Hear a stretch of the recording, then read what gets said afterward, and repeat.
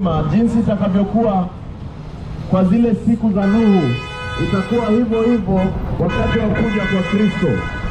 Biblia inatuambia kama ilivyokuwa wakati wa Nuhu itakuwa vile vile wakati wa Kristo kuja. Watu wengi wanajiuliza wakati wa Nuhu kulikuwa kuna kaa vipi? Kulikuwa kuna kaa kama vile tuko hapa sasa. Hakukuwa na tofauti yoyote. Watu walikuwa wanakula, wanakunywa, wanalala, wanaamka, wanafanya mambo yao, lakini siku ile uh, maji yalikuja, watu ndio walishtuka, wakasema kumbe Nuhu alikuwa anatuambia ukweli. Na wakati mwingi watu wengi hawajajua kuwa Biblia inatuambia tushafika hizo nyakati za Nuhu. Saa hizi mambo ukiangalia duniani yamekuwa maovu sana, sio kama yalikuwa kitambo. Siku hizi watu wanauana bila mipango, watu wanafanya dhambi bila hata kushtuka, watu hata hataki kusikia mambo ya Mungu. Imekuwa kama zile enzi za Nuhu, na Biblia inatuambia kuwa ukiona hizi siku zimefika, ukiona mtu ambaye a, hamchi Mungu, amwogopi Mungu, jua kweli tushafika hizo wakati. Sasa hivi kuna watu wengi sana mambo mambo ya ku, kuiba, kudanganya, kuua ni kama mambo ya kawaida tu, na Biblia inatuambia hizi nyakati zimefika, na ndivyo Yesu akaja huku duniani ndio aweze kutupatia uzima wa milele. Biblia inasema kwenye kitabu cha Yohana watatu kumi na sita Bwana Yesu Mungu alimtuma mwanawake aje duniani kwa minajili moja tu, kwa sababu moja tu, ili yoyote ambaye atakaamini asife bali apate uzima wa milele. Ndugu zanguni, hatukuambiwa tufanye chochote, ila ni kuamini tu. Watu wamewaambia mfanye hivi, mfanye vile, mnaambiwa mambo mengi, lakini Biblia inatuambia jambo ni moja tu la kufanya, kuamini. Kuamini nini?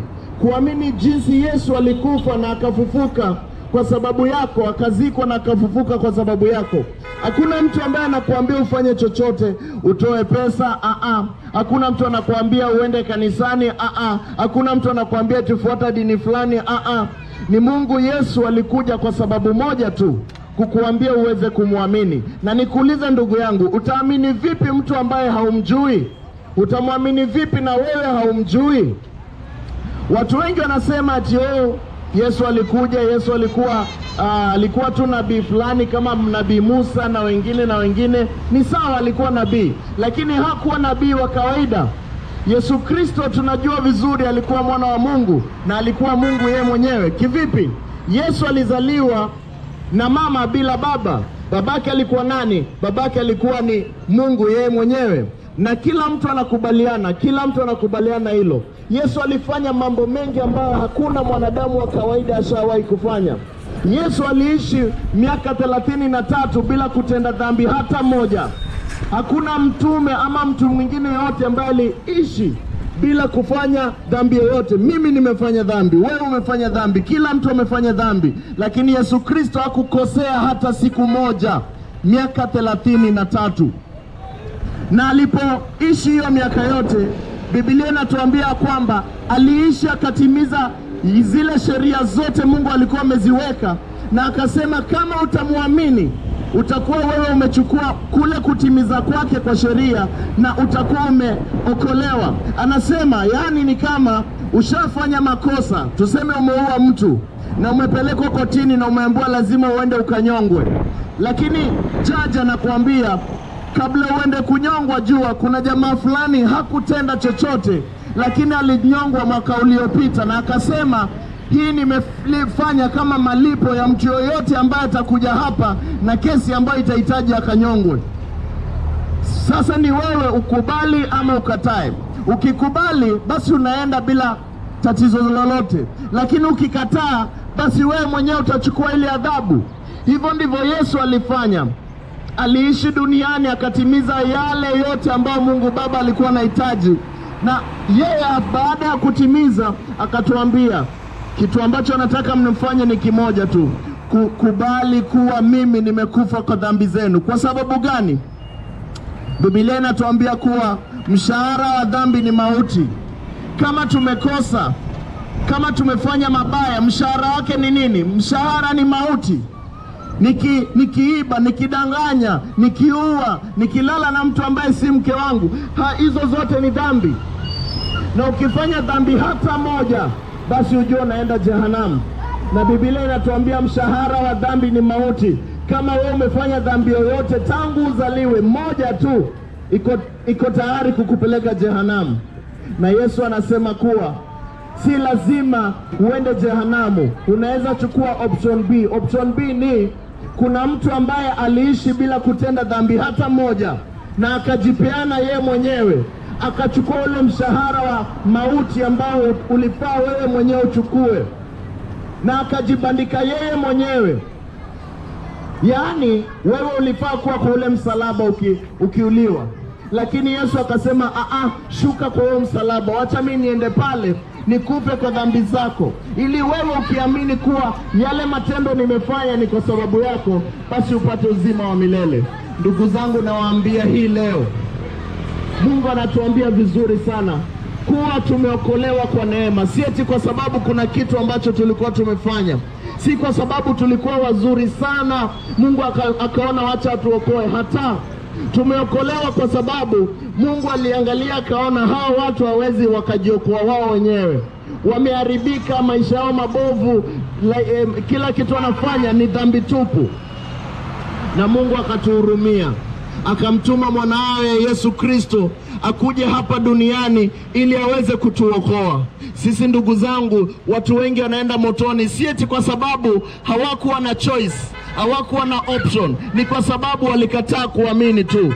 Mtu anasema hapana, siwezi amini huyo Yesu. Kwani huyo Yesu ni nini?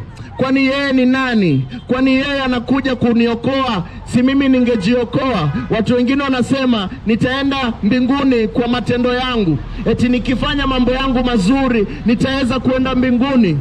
Wacha nikuambie, Biblia inasema utukufu wa Mungu hawezi linganishwa.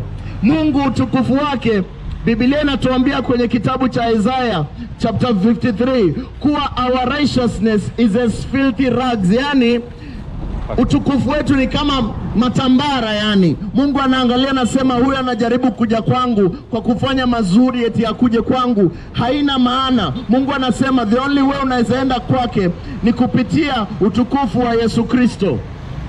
Yesu alisema mimi ndiyo njia, hakuna njia nyingine ambayo utatumia kwenda mbinguni, kwa sababu Yesu Kristo alikufa kwa dhambi zako, yaani hakuna mwingine angeweza kutimiza yale matakwa ya Mungu Baba. Na ndivyo Yesu akakuja akasema, wacha mimi nije, wacha mimi nije. Siji hapa kuambia mtu yeye ni mwovu. Musa tayari kwenye sheria za Musa tushaambiwa sisi ni waovu. Sheria za Musa zilishatuambia kila kitu, yaani tunajua sisi hatu mbele ya Mungu hatuna maana, lakini Yesu Kristo akakuja kutushikanisha na Mungu Baba kwa kupitia maisha yake, kwa kupitia kifo chake. Na saa hizi kitu ambacho unahitajika kufanya ndugu yangu, si chochote kingine, ni kusikia ile habari njema ya nini Yesu alifanya. Na habari njema ndio hii nawaambia leo, ya kwamba Yesu Kristo alikufa, akazikwa, akafufuka kwa dhambi zako, jinsi Yesu Kristo alikufa akazikwa na akafufuka kwa dhambi zako. Tujiulize, Yesu alikufa vipi? Yesu ni nini, nini alifanya? Tunaambiwa vizuri kwenye Biblia, Yesu alimwaga damu yake, alimwaga damu yake yote kwenye mwili. Hivyo ndivyo alivyokufa. Sasa tujiulize, kwani damu iko na maana gani? Unajua watu wengi hawajawahi jua maana ya damu.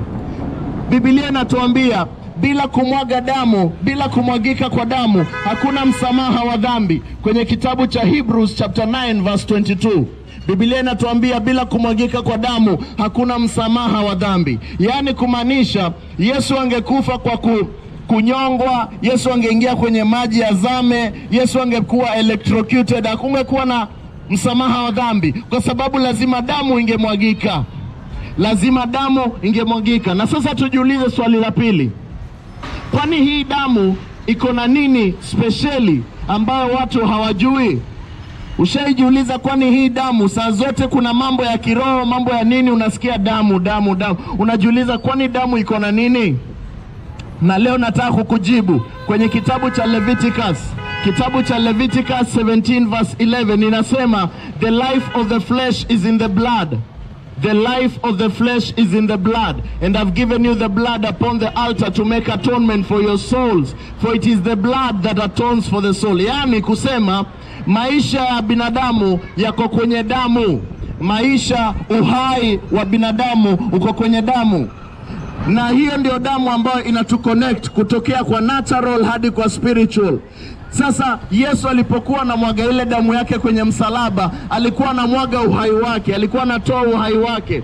Yaani in short, alikuwa anakupatia uhai wake na wewe umpatie e, yale, yale ile uhai yako ambayo tayari ni chafu, na yeye akakupatia damu yake safi, ukampa ile chafu, akakufa nayo kwa msalaba na akasema kama utaniamini, kama utaweka imani yako kwenye damu ambayo nimemwaga msalabani, basi wewe utakombolewa. Sasa ni sisi tusikie hiyo habari njema, tuielewe ile habari njema na tuikubali kwenye mioyo yetu, tukubali tuelewe na tuseme kweli, Yesu, nimeelewa, ulikufa kwa dhambi zangu, sieti kwa sababu nilikuwa mzuri, sieti kwa sababu nilikuwa nimefanya chochote, lakini nimekubali kweli, ulikufa kwa dhambi zangu. Na ukishakubali unamweleza tu, na ukishamweleza, Biblia inasema ya kwamba immediately umesikia na umeelewa, unakuwa kiumbe kipya, unakuzaliwa tena. Kuzaliwa tena kwenye kiroho kuzaliwa tena kwenye spiritual ama kwa kiroho, ni kuelewa tu, si eti kwa sababu, si eti kuna kitu chochote, si eti kuna mtu anakwambia kuja kwa hii kanisa, kuja kwa ile kanisa. Hata kuzaliwa tena kwa Biblia ni kuelewa.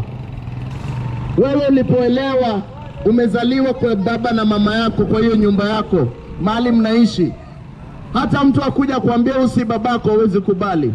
Utamwambia wewe, wacha uongo, huu ni babangu. Nikuulize, ulikuwa pale ukizaliwa, ulijiona? Haukujiona, ulijua vipi? Huu ni babako, huu ni mamako, huu ni nani ni nani? Ulijua kwa sababu ulisoma historia, ukaelewa, ukaona picha za kitambo ukiwa mdogo, ukajisikia, ukaambiwa na ma, eh, na, na relatives wako, ndio ukajua kweli, huu ni babangu, huu ni mamangu.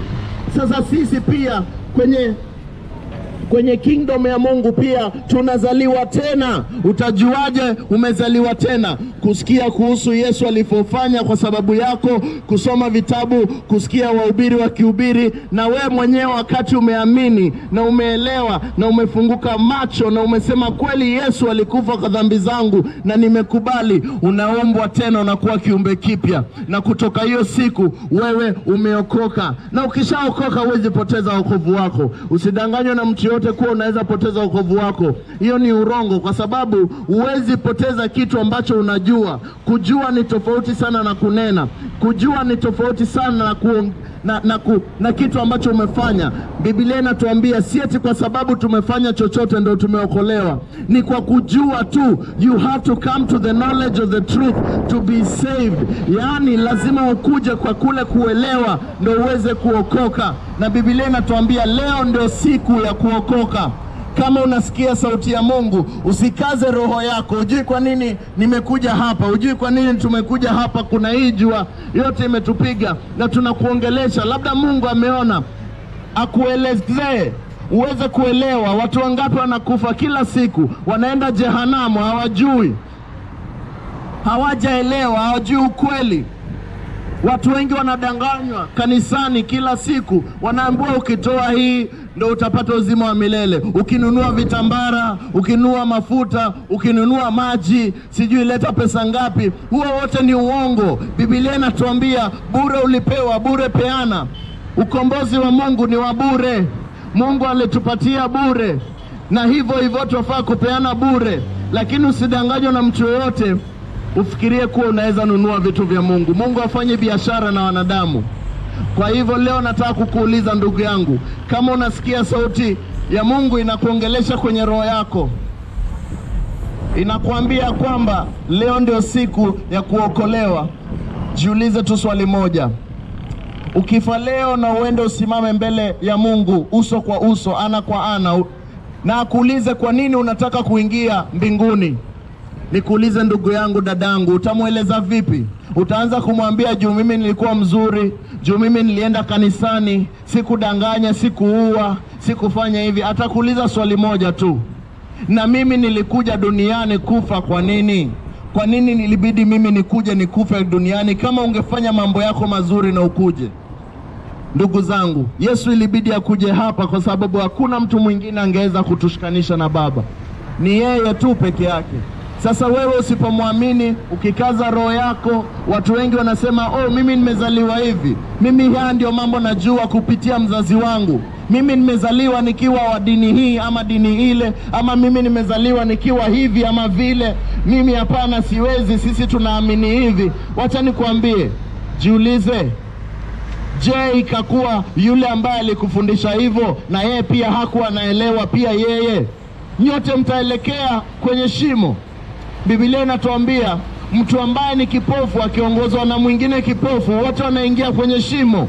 Lazima mmoja afunguke, afungue macho ndio aweze kuangalia, aseme enyewe kweli, lazima nifunguke macho, kwa sababu siku ni kidogo na tunaishi kwenye wakati wa Nuhu. Biblia ilisema Nakumbuka vizuri ndugu zangu, wakati wa Nuhu haukuwa na tofauti sana na hivi leo. Nuhu alikuwa anaongea kila siku, anasema tafadhali, ingieni kwenye merikebu, ingieni, ingieni hekalu, ingieni, ndo hii, ingieni. Watu wanamwangalia, wanamwambia we mzee, inua kipara, uongo wewe, mvua gani hiyo inaweza jaza dunia nzima?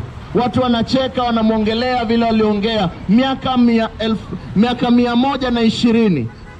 Nuhu alikuwa anaambia watu dunia inaenda kuisha, itaharibiwa kwa maji. Hakuna mtu alimsikiza. Watu wengine walikuwa wanafanya mambo yao, wengine wanasema ah, nimenunua ng'ombe, wacha kwanza nikai, nikaiangalie kama inajua kazi. Mimi nimeoa juzi, wacha kwanza niende honeymoon. Mimi niko na mambo yangu. Nuhu, tulia, nitakuja tu na kuona mali huko, naona hekalu yako, endelea kutengeneza, nitakuja.